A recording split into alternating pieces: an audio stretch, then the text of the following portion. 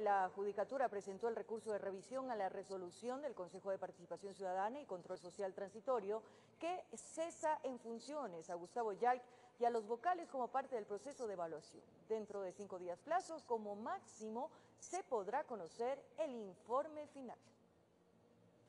Una hora antes que culmine el plazo, es decir, a las 16 horas de este viernes, el Consejo de la Judicatura presentó el recurso de revisión como parte del proceso de impugnación. Alba Jacome fue la encargada de entregar la documentación en el Consejo de Participación Ciudadana y Control Social Transitorio. Simplemente he venido a dejar el recurso de revisión cumpliendo los plazos establecidos en la resolución 37 del Consejo de Participación Ciudadana. A través de este recurso legal desde la Judicatura se demanda se analice la cesación de funciones a Gustavo Yalc y los vocales, como lo resolvió el Consejo Transitorio el pasado lunes, como parte del proceso de evaluación a su gestión. El recurso de revisión está ahí, es una carpeta con un folio de unas 425 fojas.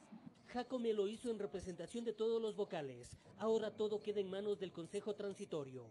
Claro, es una resolución del Pleno. El Pleno tiene que conocer la impugnación. Primero tenemos que conocer el contenido de la impugnación y en función de eso se pronunciará el Pleno. El Consejo tiene un plazo de cinco días para emitir su informe final.